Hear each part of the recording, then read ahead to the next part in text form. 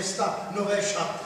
No, to jste mi měli říct, tady šacní. No těžko, ty prát kalhotka. Kusíka, žádná dáma si mu nepere, ubíralo by to práci barevnej. Co ty děláš s tím až? Já sbírat bizoní hovna.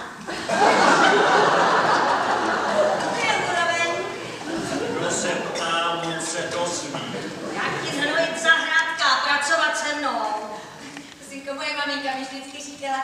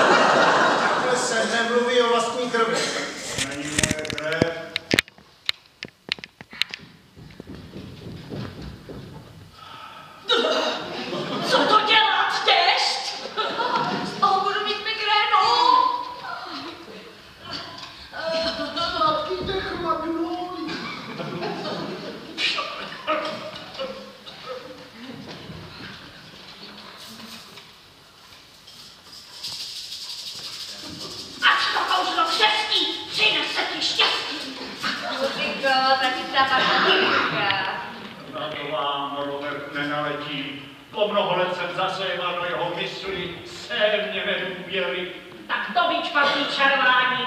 Mými sežrat o půlnoci při úplňku. To je otrava, to bylo. Já myslela, že začnou padat hromy a blesky.